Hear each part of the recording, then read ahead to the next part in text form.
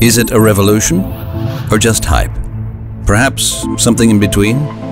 One thing is clear, blockchain is one of today's big taking points.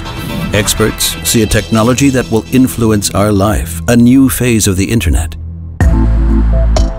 But what is the belief based on? Blockchain is momentarily the best known distributed ledger technology, DLT for short. This is primarily due to the hype surrounding the Bitcoin cryptocurrency, which is based on blockchain technology. DLTs describe digital databases in which every member can supplement the data stored there not centrally in a cloud but locally on each computer on the network, functioning as a decentral peer-to-peer network.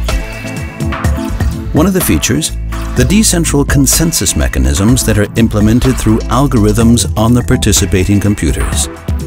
This so-called mining verifies the data in the decentral network, makes DLTs transparent, safe and decentral, and by that, the backbone for future transactions and verification processes.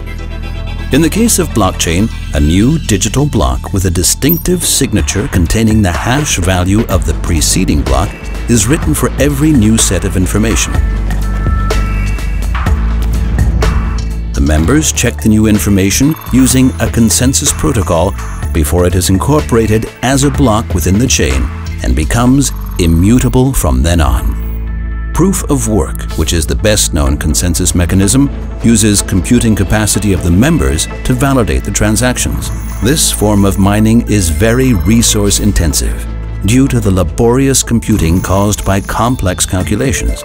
However, this effort is part of the Secure Consensus Protocol's design and protects the network from being manipulated as it renders attacks uneconomic. At the same time, there are more flexible ways to secure the consensus, such as proof of stake, for use cases where the safety requirements are not as high. In proof of stake, users with more tokens have more power in the consensus finding process. This happens with the assumption that the user has no interest in damaging his token value and his influence by harming the system. If one has significantly higher speed requirements, then one can use DLT for framework contracts and perform the exchange of information by a so-called second layer mechanism. On this second layer, transactions are processed at higher rates.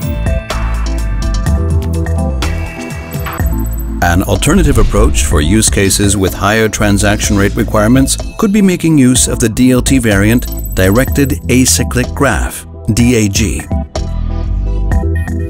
in contrast to blockchain, consensus finding in DAGs is achieved if the user validates for each new transaction at least two previously not validated transactions.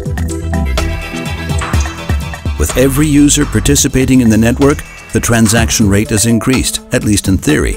However, this advantage of scalability is at a research stage and not yet completely proven in practice. Distributed ledger technologies are highly relevant in the future because they enable an economy of things. Safe transactions between humans and machines, immutable, indisputable information, and as a consequence, the capability for smart contracts embedded in a program code to be able to guarantee decentral, automated contractual transactions. Intermediaries will become redundant. Businesses will be decentralized and ultimately be performed between machine and machine. Cars charge themselves, negotiate the prices at the charging station, and settle the bill. In an economy of things, distributed ledger technologies create and ensure the basis for trust, fairness, and participation in the decision-making process. As a result, DLTs enable intersectoral value-creating networks.